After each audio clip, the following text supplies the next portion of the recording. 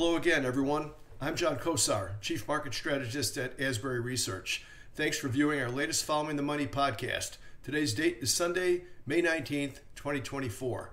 Today I'll be talking about what Asbury Research's latest data driven market research and quantitative models are saying about current financial market conditions. That is, when to be on offense and looking for opportunity, and when to be playing defense and protecting your capital. After studying the financial markets for over 40 years, I have learned that, contrary to what a lot of financial, financial professionals may be saying, you can most definitely time the markets. There certainly are times when it's a lot more difficult to do so than others, but it can be done consistently with an unemotional, data driven, and repeatable approach that simply follows the money rather than trying to forecast the future. Asbury Research has been providing both investment research services and money management to individual and professional investors since 2005. For more information about us, visit asburyresearch.com and use the contact tab, which is right here, or just click the link in the description of this video. Finally, if these YouTube videos are useful to you and you'd like to see more of them, please like and subscribe. Let's begin with a few brief announcements from now through the end of May, which is May 31st, we are offering 10% off on 3 and 12 month individual investor subscriptions for following the money followers, subscribers, and those who like our videos. You can use the contact tab here and give us your name and contact inf- information, and we will send you back more details.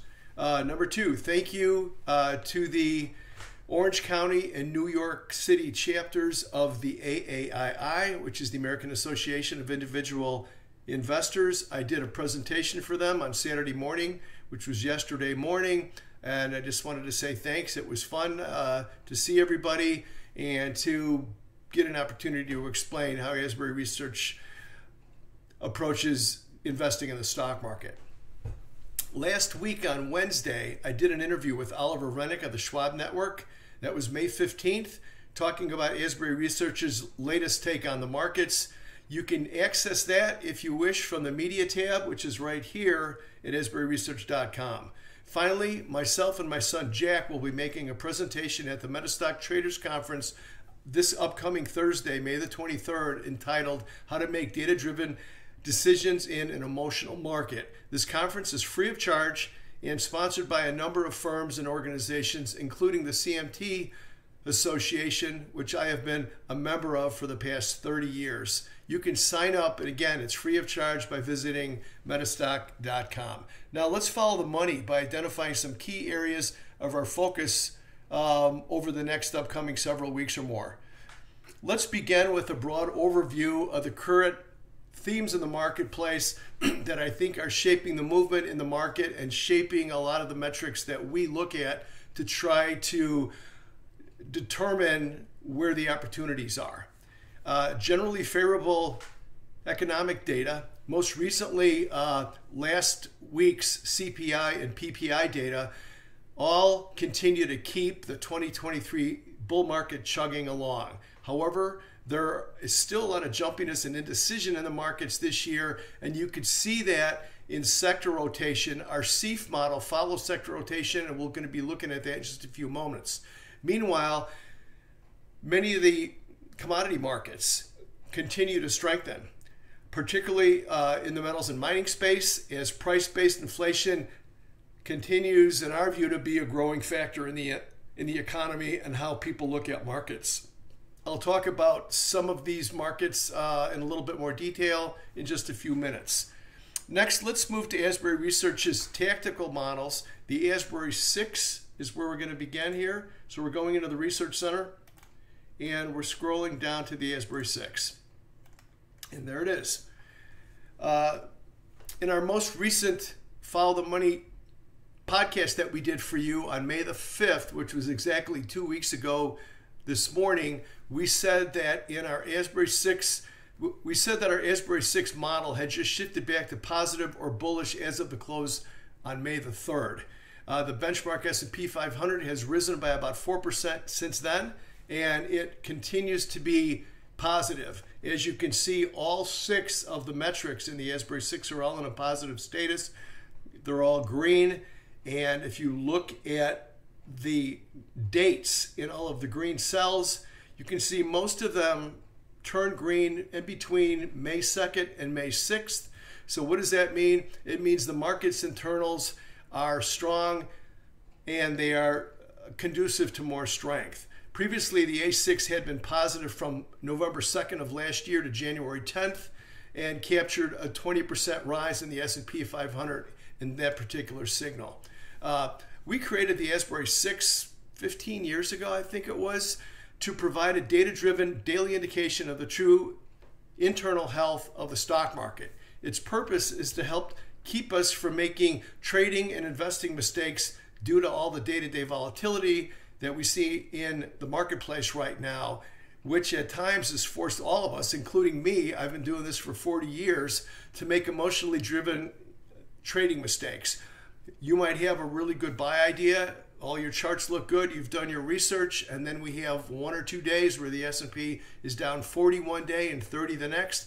Before you know it, you're second guessing yourself, you're out of your position, and then 3 days later, the S&P is making fresh highs and you're forced to buy back in. The Asbury research is meant to keep us focusing on the internals and not chasing the tail of the S&P 500.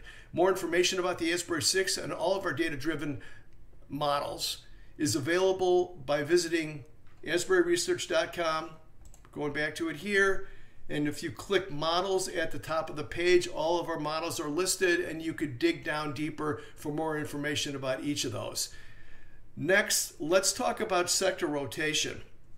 Sector rotation is of critical importance to me because it shows what parts of the market are outperforming the S&P 500 and which parts are underperforming. Our SEAF model SEAF stands for Sector ETF Asset Flows, by the way. It does this by following the money around the 11 sectors of the S&P 500, which together comprise the S&P 500 because the movement of this money around these sectors is what drives the prices of those individual sectors higher and also lower. This week, the top ranked sectors according to the SEAF model are utilities, which is XLU, financials, XLF, and technology, which is XLK. The bottom ranked sectors are currently consumer discretionary, XLY, healthcare, XLV, and energy, XLE. So, looking at those, you can see that there's directional indecision in the market right now. Utilities is our number one ranked sector. We're going to look at it a little closer in just a second. That's a defensive sector. Technology is our third best ranked. That's an offensive sector. Then if you go to the bottom, healthcare, second from the um, second from the bottom, that's a defensive sector. Consumer discretionary, which is the weakest, is offensive. What does that mean? It means that even though a lot of the major indexes are making new all-time highs, the market isn't sure what to make of this. There are certain factions of the market that are using this to buy defensive sectors, places like XLU or utilities, probably because they're unsure of the sustainability of the current rally. The S&P 500 is up 30% since the end of October of last year. Um, so by buying utilities, you're still able to participate in the stock market, but you're doing so in a defensive way. So again, the bottom line here is first look at first blush looking at the S&P 500 happy days are here again. But if you look at the money that's moving around the sectors there's a lot of indecision. So I said that we take a look at one of those and we're going to look at it right now. So these are our rainbow charts. You can see why we call them that. And these are all associated with the SEAF model. So this is a one for utilities. And you can see that favored status up on top this goes back a year, by the way. This is one year of the rankings of the utility sector XLU according to our SEAF model. Favorite status is green, neutral status is yellow, avoid status is red. Down in the bottom is the is the um, associated relative performance chart between XLU and SPY, which of course is the ETF for the S&P 500. So note that utilities first moved into favorite status here on April 30th and has stayed there and is actually getting stronger. Look what's happened since then. we've had relative outperformance of 4% in XLU versus SPY after all of this period of relative underperformance here. So this just shows you how the movement of money moving around these sectors has a very pronounced effect on what the direction of these sectors are, both outright and relative to the S&P 500. You can learn more about the SEAF model by visiting asburyresearch.com, clicking models at the top of the page, and then scrolling down to the SEAF model.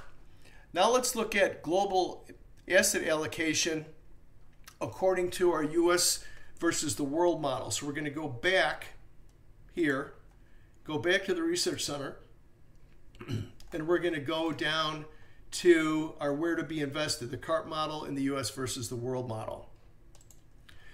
So here is our US versus the world model. and this basically measures the relative strength of the, U, uh, of the US S&P 500 or SPY versus 25 different foreign, foreign equity markets around the world in three different time frames, weekly, monthly, and quarterly to see where the trends are. Two of the model's favorite countries right now are Spain, which you can see right here. It's EWP. You can see we're outperforming in both the tactical and in the strategic. And also United Kingdom, which is right here, which is outperforming SPY in all three of the time frames. Let's take a look at those charts. So we're going to go back here. Here's EWP. This is Spain. So our model first indicated an opportunity to buy and or overweight Spain on April the 19th. You can see since April the 19th, EWP has gone 8% higher, um, highest that it's been since the latter part of last year. And in the meantime, down here, it's outperformed the S&P by 1%. Let's take a look at United Kingdom next. The UK, since, uh, again, since our model indicated a buy slash overweight opportunity on April the 19th, which is right here. You can see EWU has gone 10% higher, again, as high as it's been since the latter part of last year, and it has outperformed the S&P by 3%. Finally, let's take a look at commodity prices. Commodity prices have been really interesting um, to me since the beginning of the year. Uh, subscribers to our Following the Money podcast may remember that we had been bullish on the silver miners, which is SLVP, between March the 28th and April 16th. That ETF rose by 13% during that just few week period while outperforming the S&P 500 by 17% in between those two dates. Uh, Asbury's data-driven screening process for many ETFs, including the commodity ones, is driven by four things by trend, by relative performance, by investor asset flows, and also by the risk reward of that particular idea. It's now indicating a new buy overweight opportunity in the metals and mining space as we currently have relatively new long ideas. Um, those ideas show up here back to the research center those ideas show up here in our se sector and industry group ideas. But what I wanted to show you today is one of those that we're looking at is the gold miners. So we have been long the gold miners um, for a relatively short time. Ring is one of two different ETFs that track the gold miners. But this is the big picture that I wanted to show you. Even though our smaller, um, more uh, tactical indicators like asset flows and relative performance are giving us signals now. The bigger picture is showing us that RING is bumping against a pretty important major resistance level. It's this major trend line, downtrend line from the August 2020 high and also the May 2023 horizontal resistance level from the highs of last year. Both of those come in right around 2817. We are edging up above that area now. After this long period of kind of a, a coiling that we've seen since 2020, this could be the makings of a really important breakout. So we're already on top of that, and there's some other uh, trades in the metals and mining space that we also show um, in our sector and industry group ideas. So that wraps up another Asbury Researchers Following the Money podcast for this week.